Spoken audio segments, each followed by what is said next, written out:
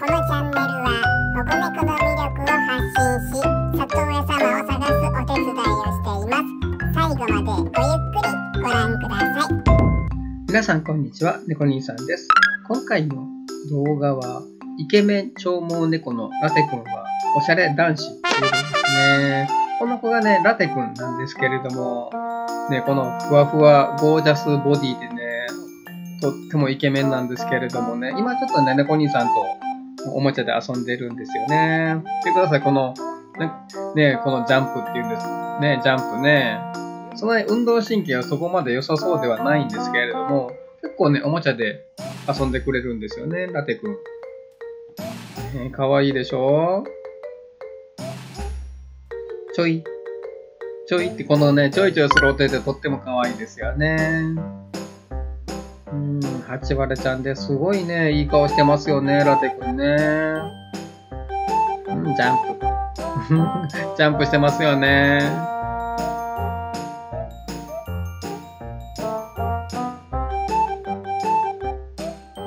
うん楽しそうに遊んでくれていいな、この子は本当に。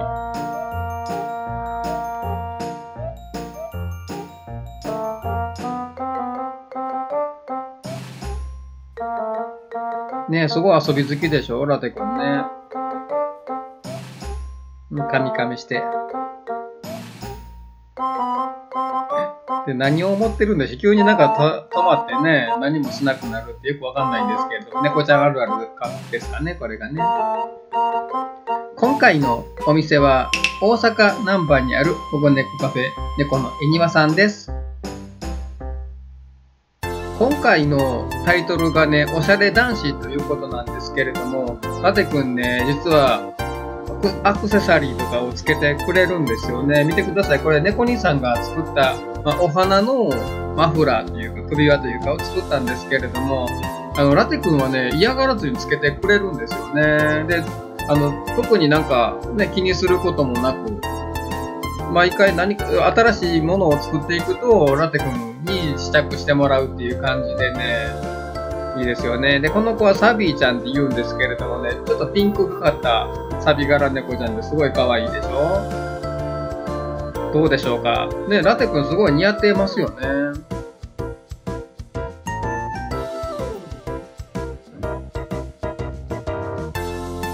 すごい可愛いですよ、本当に。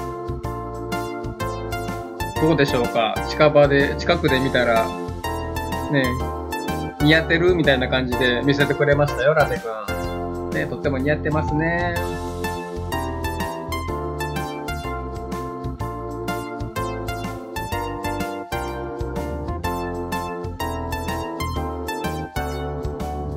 このふわふわボディがね、すごい気持ちいいんですよね。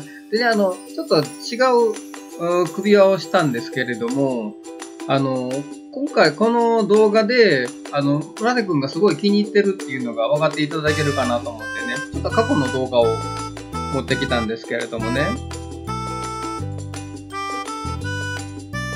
今何をしてる、しようとしてるかっていうと、く、首輪を外そうとしてるんですよね。ね今撮ってるでしょするとね、返せって言うんですよ、ラテ君。見せると、返して、返して、返して、返してってやったのです。あの、お店の方も言ってたんですけども、この首輪を他の子につけるとね、怒るらしいんですよ。その、つけてた子に、俺のだ、みたいな感じでね。で、ちょっと首輪を持って、離れると、ラテ君じーっとほら、こっち見てるでしょ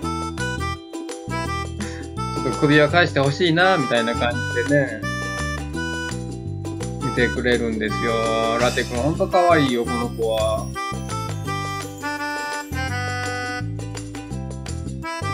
ちょっと置いてみます。んなんか恐る恐る 近づいてきて、ちょいちょいちょい。いいでしょラテ君ね。まあ、これだけ気に入ってくれたのは嬉しいですよ、本当に。ということで、ラテ君にもう一度つけたいと思います。ちょっとつけるときはね、嫌がってる部分はあるんですけど、つけてしまえばね、本当に嫌がらずにね、つけてくれるんですよ。すると、尻尾ピーンって喜んでるでしょ、ほら。よ、嬉しかったんでしょうね、ラテ君ね。ほんと、キャワワな子だ、本当にイケメン。お、上に乗るのかな？よいしょ。一気に乗れないんですよね。この足可愛くないですか？なかなかね、運動神経はそんなある方ではないのかなと思うんですけれども。はい、今日の動画は以上です。保護猫カフェ、猫のえにわさんでした。